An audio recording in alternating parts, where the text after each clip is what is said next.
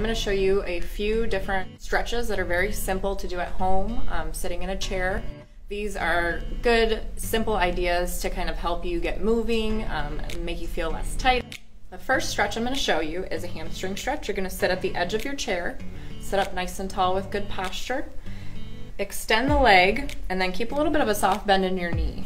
Also, you want to make sure you're keeping your toe pointed away from you. Um, that way you don't get any kind of pain or nerve tension in the back of your knee. From here, what we're gonna do is sit up nice and tall and hinge from our hips to lean forward. And you should feel a nice stretch in the back of your thigh here. Stretch should be a medium stretch, not too severe or anything like that. Hold it for about 30 seconds, and then you just kind of back off and sit back upright. Do that really as many times as you want. You know, there's no limit on stretching. It's, it's there to make you feel better. Another stretch I have is a piriformis stretch. So you're gonna cross your leg over your other knee.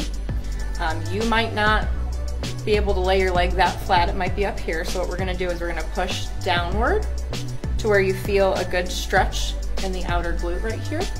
If you don't feel enough of a stretch, again, we're gonna hinge from our hips, sit up nice and tall. I feel more of a stretch here. Um, the 30 second hold is a good place to start. And then you just kind of back off and relax. We can also do another stretch. So instead of pushing away, we're gonna bring the knee towards us it's gonna get a little higher in the glute here, that's your glute med. It's another good spot to get into if we've been sitting for too long, again with the 30 second hold, and then you relax. The next stretch I'm gonna show you is a standing stretch for your hip flexors, the front of your hips right here. Um, oftentimes from sitting too much, these kind of get short and tight, so it's hard for us to stand upright and have good posture. Um, you just might not feel very mobile if you've been sitting for a long time, so this is a really good one I like So what you're gonna do is kind of get into a bit of a little bit of a lunge stance. And the stretched leg is this one that's in the back, so I'm feeling the stretch right here. It's also good for balance to make sure you're next to a countertop or um, a chair or something that you can hold on to.